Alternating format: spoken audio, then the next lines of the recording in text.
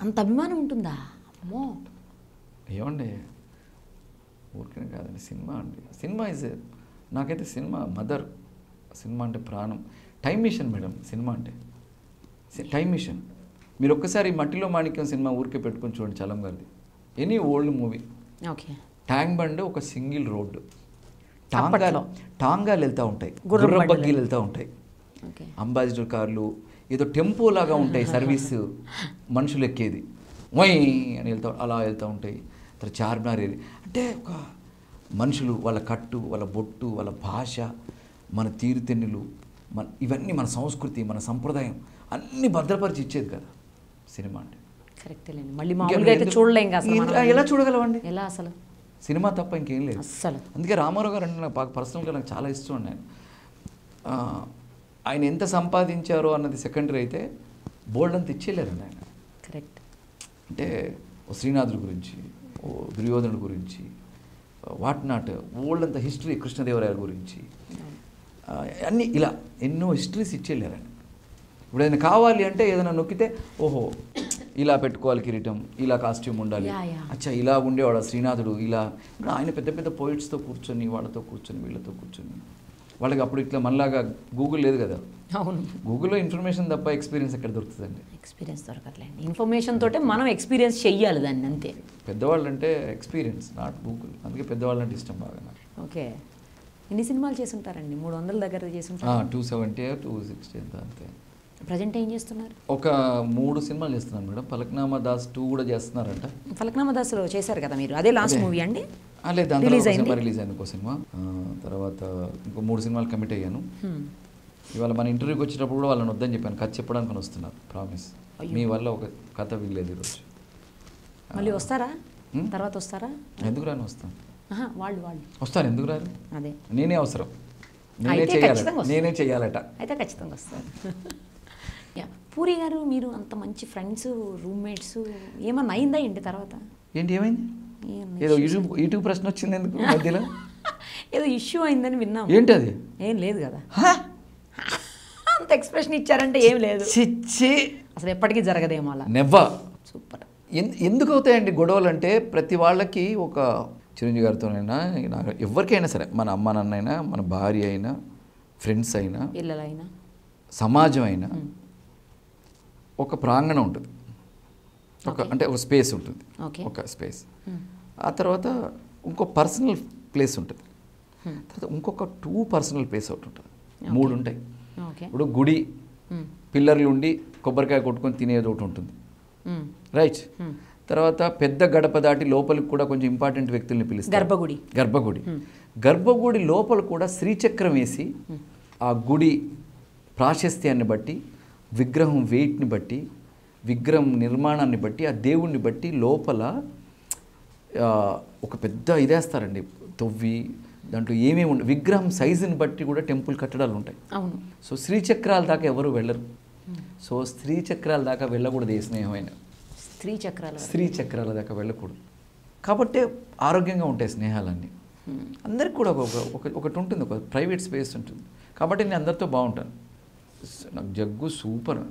Smart Shankar చూసారా? నేను చూడలేదు. నేను మధ్యలో రిలీజ్ అయిన త్రీ డేస్లో మాకు మా మిస్సెస్ సంబంధించిన ఒక వాళ్ళ సిస్టర్కి ఏదో ప్రాబ్లం అయ్యి దాంట్లో నేను ఇరుక్కుపోయి తర్వాత నా ఇన్స్టిట్యూట్ గురించి Mayuka talkies film acting school నేను దాని గురించి మాట్లాడతాను అందుకనే సో దానివల్ల సినిమా చూడలేకపోయాను. లేకపోతే చూసేయాలి. నాకు నాకు తెలిసి ఉన్న ఇద్దరు ముగ్గురు ఫ్రెండ్స్లో జగ్గు అర్ధరాత్రి టూ ఓ క్లాక్ కూడా లేచి జగ్గు అని వెళ్ళి ఉన్న ఫ్రెండ్ ఒక జగ్గు. సూపర్ గ్రేట్ ఫ్రెండ్ ఇంకా మిగతా ఇద్దరు? వంశీ ఉన్నాడు శ్రీకాంత్ ఉన్నాడు శివాజీ రాజా ఉన్నారు అందరు ఫ్రెండ్స్ చాలా. బేసిక్గా నాకు గొడవలు ఇష్టం ఉండవు నిరుపమ గారు. నా అందరు ఫ్రెండ్స్ అదే కరెక్ట్ కూడా అండి అసలు చెప్పాలంటే. ఏంటంట పెద్ద? ఎంపీ ఎంపీ ఎందుకు గొడవలు పడ్డావు? మా నాన్నగారు నేర్పింది అదే నాకు. అమ్మ నాన్నగారి గురించి చెప్పండి. అవి సరిపోదు ఇంటర్వ్యూ పర్లేదు. కొంచెం చెప్పండి అమ్మ నాన్నగారి గురించి. నాన్నగారు చాలా అంటే స్పెషల్ అని విన్నాను నేను. అంటే అందరు అమ్మ నాన్న గొప్పవాళ్ళే. మా నాన్నగారు ఇంకొంచెం గొప్పవాళ్ళు. అంతే. అలా చెప్తాను నేను. అంటే నాకు మా నా అమ్మ కంటే మా నాన్న ఇష్టం నాకు ఎక్కువ. అమ్మల? ప్రపంచంలో ఒక మెచ్యూరిటీ లెవెల్స్ వచ్చిన తర్వాత పుస్తకాలు చదివిన తర్వాత అమ్మ తొమ్మిది నెలలు మోసి కష్టపడి మనల్ని పెంచి ఆకలేస్తే అన్నం పెట్టి. సో అని అంటాం. అమ్మ వేలకు అన్నం పెట్టేది. గొప్పది అంతే అమ్మ మంచిది. నాన్న గొప్పవాడు. అమ్మ మంచిది అంతే. అమ్మ పిల్లల్ని పెంచుతుంది అంతే.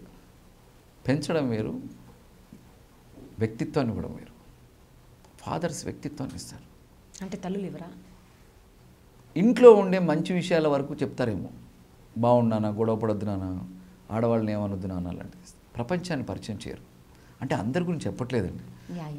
చాలా ఇప్పుడు కొంతమంది ఇండివిజువల్ లేడీ ఉమెన్ ఉన్నారు. కొందరు భర్తలు దూరంగా ఉన్న భార్యలు కొందరు ఉంటారు బాగా చదువుకున్న వాళ్ళు ఉంటారు. వాళ్ళు ఎలా పెంచుతారండి? అని it's not hundred percent. Major part yeah ప్రపంచంలోకి తీసుకెళ్ళేది నాన్న వేలు బట్టి నడిపించేది నాన్న.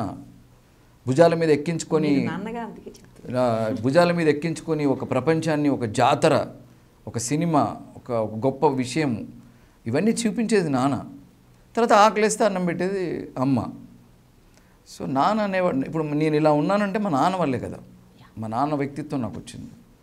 మా నాన్నగారు ఫ్రీడమ్ ఫైటర్. ఆర్య సమాజ్లో వర్క్ చేశారు. తర్వాత ఆయన బుర్రకథలు చెప్పేవారు. తర్వాత తెలంగాణ పోరాట యోధుడు. తర్వాత సామాజికమైన సంఘ సంస్కరణ ఉద్యమకారుడు తెలంగాణ ఉద్యమకారుడు స్వాతంత్ర ఉద్యమకారుడు. మూడు ఉద్యమాల్లో వర్క్ చేసిన వాళ్ళు ప్లస్ టీచర్ లాంటి వర్క్ చేశాడు. అప్పట్లో ఈ హరిజనులు ఇలాంటి వాళ్ళందరికీ గిరిజనులకి నాన్నకు తెలంగాణ రాకపోవడానికి నాన్న ఒక కారణం చెప్పేవాళ్ళు ఎప్పుడు. అవిద్య అనేవాడు. అన్ఎడ్యుకేషనే తెలంగాణ రాకపోవడానికి. ఎందుకంటే ఎప్పుడైతే ఎడ్యుకేషన్ ఉంటుందో నాగరికత గురించి సంస్కృతి గురించి తెలిసి మన పట్ల మన విషయం పట్ల మన ప్రాంతం పట్ల గౌరవాలు పెరుగుతాయి. మన సంస్కృతి మనకు తెలుస్తుంది. అప్పుడు నీకు ఒక ఆత్మవిశ్వాసం పెరుగుతుంది. మన మీద ప్రేమిస్తాను అప్పుడు నిన్ను సో అలా అందుకనే కొందరి కొన్ని కొన్ని పోరాటాలే ఉన్నాయి. ఫస్ట్ స్టార్టింగ్లో ఆ తర్వాత ఉద్యమ రూపం దాల్చింది. ఎప్పటి నుంచి అండి నైన్టీన్ ఫిఫ్టీస్ నుంచి కదా ఉద్యమం తెలంగాణ ఉద్యమం.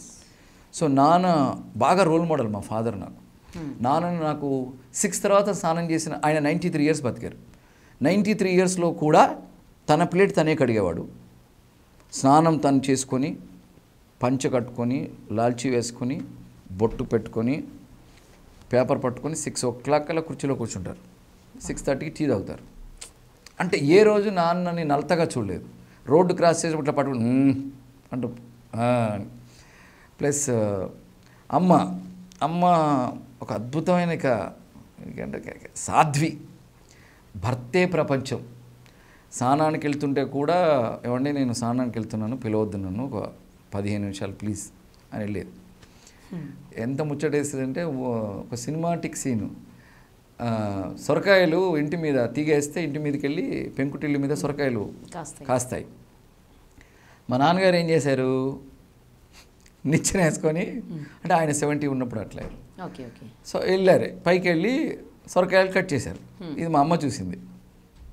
ఈయన పంచ కట్టుకొని నిచ్చెన వేసుకొని అవసరమా? ఏ పెంకు జారినా అవుట్. ఈవిడ నిచ్చెన తీసేసింది. తీసేసి లిటరల్గా పక్కింట్లో ఇచ్చిచ్చింది. పైనే ఉన్నారు. ఈయన పైనుంచి శకుంతల శకు శకు అంటున్నారు ఏంటండి అని. అది నేను దిగాలి సొరకాయ ప- కిందికి పంపించానా? బాబు ఏడి ఏంటి బాబు మీరు అక్కడే ఉండండి. గంట ఉంచింది. భర్తీలు ఆడాక వేసింది. ఇంకొకసారి ఎక్కను. అదే. అలాంటి ఇది. మొదలు అమ్మ పోయింది. తర్వాత నాన్న. ప్లస్ అమ్మ మా ఇంట్లో ఆనవాయితీ ఏంటంటే మా పక్కనే స్కూలు. చుట్టుపక్కల ఊళ్ళో వాళ్ళందరూ వచ్చి భోజనాలు చేయడానికి ఒక ప్లేస్ ఉండేది కాదు. ఆడపిల్లలకి. మగపిల్లలు అంటే ఎక్కడంటే తిరుగుతారు. సో పది పదిహేను మంది ఆడపిల్లలు నా చిన్నప్పటి నుంచి అలాంటి సంస్కృతి చూస్తూ పెరిగాను. సంప్రదాయం చూస్తూ పెరిగా. అలాంటి మంచితనం చూస్తూ పెరిగా. స్కూల్కి వచ్చే ఆడపిల్లలందరూ మా ఇంట్లో భోజనం. వాళ్ళ క్యారేజీలు తెచ్చుకుంటే మా అమ్మ మధ్యలో మంచినీళ్ళు పెడితే మా ఇంట్లో తినేలేవాడు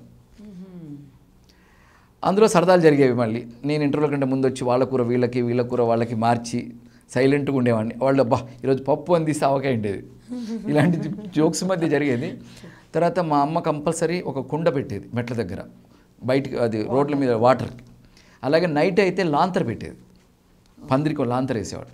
వీళ్ళు హైదరాబాద్ వచ్చినా సరే పక్కింటి వాళ్ళకి కిరోసిన్ ఇచ్చి పక్కింటి వాళ్ళకు చేద బొక్కెని ఇచ్చి బావిలోంచి నీళ్ళు తోడి పెట్టని ఒక వర్కర్ లాంటి కూలోడు ఉంటే వాళ్ళకు ఐదు రూపాయలు పది రూపాయలు ఇచ్చి మేము పది రోజులు హైదరాబాద్ వెళ్తున్నాం. ఈ పది రోజులు మీరు ఈ లాంతర్ పెట్టాలి మంచినీళ్ళు పెట్టాలని వచ్చేవాడు. అబ్బో. ప్లస్ మా నాన్నగారు న్యూస్ పేపర్ వేయించేవాళ్ళు. న్యూస్ పేపర్ వల్ల విషయాలు తెలుస్తాయి. పదిహేను మంది మన ఇంట్లో వచ్చి కూర్చుంటారు. ఎప్పుడు సందడిగా ఉంటుంది. ప్లస్ పద్యాలు పాటలు గోల ఇలాంటి వాటి మధ్య పెరిగారు. సో రోల్ మోడల్స్ వాళ్ళు ఇద్దరు నాకు సో అందుకనే ఇప్పుడు చూగో ఇప్పుడు పిల్లలు పాపం ఎల్కేజీ యూకేజీ పిల్లలకి వెళ్ళేటప్పుడు వాళ్ళేమో చలికి వాటికి లేచి వణుకుతూ వాళ్ళకు యూనిఫామ్ వేసి ఆరు గంటలకల్లా పాపం బలి పశువుల్ని తోలినట్టు సంతకి ఏదో కబేలాకి ఆవుల్ని పంపినట్టు పంపుతుంటారు మదర్ ఫాదర్. అప్పటికి మదర్ ఓ టైపులో ఉంటుంది ఇంట్లో. ఫాదర్ ఏమో లుంగీలు కట్టుకొని నోట్లో పందంపుల్లో బ్రష్ బ్రష్ పెట్టుకొని నోట్లో టీ షర్ట్ లాంటిది ఒక వేసుకొని లుంగీ కట్టుకొని వాడు మాత్రం చక్కగా తయారయ్యి షార్ట్ ఓకే కదండి లుంగీ దారుణం కదా నాకు. అవి కట్టుకొని స్కూటర్ మీద వీడు మాత్రం బ్రహ్మాండంగా రెడీ అయి ఉంటాడు. ఎవరిని చూసి ఎవరిని నేర్చుకుంటున్నాడో అర్థం కావట్లేదు. రోల్ మోడల్ అంటే ఫాదర్ని చూస్తే అమ్మా ఫాదర్ ఇప్పుడు పిల్లలకు ఎడ్యుకేషన్ అది చెప్తే కాదండి. ఒక ఒక ఒక స్పేస్ కూడా మనల్ని ఎడ్యుకేట్ చేస్తుంది. టెంపుల్కి వెళ్తే మనం ఎందుకు సైలెంట్గా ఉంటాం? ఎందుకు అక్కడ బూతులు మాట్లాడచ్చుగా? మనమే కదా. మనమే అయ్యేసరికి ఇక్కడ అక్కడికి వెళ్ళగానే ఎందుకు రామకృష్ణ పరమహంసలు అయిపోవాలి? అట్మాస్ఫియర్ హాస్పిటల్కి వెళ్తే అప్పటిదాకా అరుచుకుంటూ వెళ్ళేవాళ్ళం. ఈవెన్ ఫాదర్ ఐసీయూ మీద కూడా నెత్తి నోరు మొత్తుకుంటూ వెళ్తుంటాం. బట్ హాస్పిటల్ ఐసీయూకి వెళ్ళేస్తే సైలెంట్ అవుతాం. ఆ ఎమోషన్ చచ్చిపోయినట్ట? కాదు. సరౌండింగ్స్ ఆంబియన్స్ మనల్ని అట్లా తయారు చేస్తుంది. సో నీ ఆంబియన్సే దిక్కుమాలిన ఆంబియన్స్ ఇంట్లో. పిల్లలు ఎట్లా బ్రహ్మాండంగా ఎందుకు తయారవుతారు? ఇవ్వలే మా ఏదో మా ఏదో వేరే ఏదో మా స్కూలు ఐఐటి ఏదో కంపల్సరీ చదవాలేదంటే నాకు వద్దండి ఐఐటి మా పిల్లలు చదవక్కర్లేదండి. నార్మల్ స్టూడెంట్ అయితే చాలు. నాకు వద్దండి. నా పిల్లలు సిటిజన్స్ అవ్వాలని కోరుకుంటున్నాను కానీ స్టూడెంట్స్ అవ్వాలని కోరుకోవట్లేదు. మినిమం డిగ్రీ బాగా ఇష్టమైతే ఎంఏ చదివితే చాలండి నాకు. అవసరం లేదని చెప్పాను.